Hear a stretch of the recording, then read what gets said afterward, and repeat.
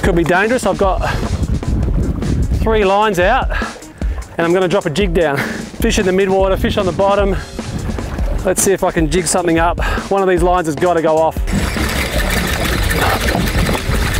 Yep, oh. There's fish hitting on the way up then. It could be schoolies or tuna. Gotta try and hook the bigger fish, that's what I want.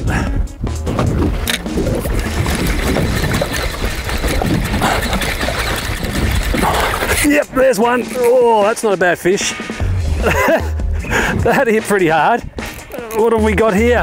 Oh, double hook up, that's what we've got. Oh. Okay, let's try and keep this tension on. That's the livey that's gone up as well. Righto. I think I might have lost that one. This one's a good fish. Oh, there's a big school under the boat.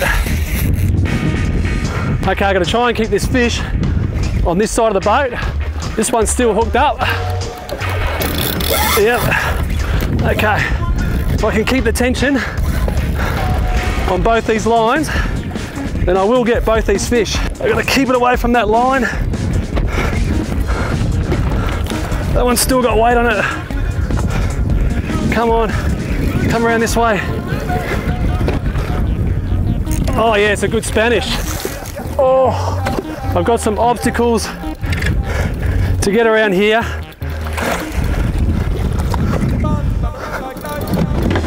Oh, right, I gotta gaff this fish now. Oh, not the greatest gaff shot. I slipped on the floor. Get this fish in the boat. Leave him there. Oh, and fight this other one. It's chaotic. Fish on the deck. I've got to get these other lines in. Either a Spanish or a shark. Oh, that one's been bitten off, which is usually a sign that a school of Spanish came through. I don't know what I've got here, but it's got some serious size to it. Yeah, this may be a shark. It is a shark. Oh, we want to get rid of this fish. Ah, there's a shark.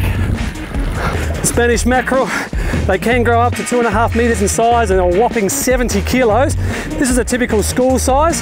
They can be found in Asiatic waters, Australia, Africa, Middle East.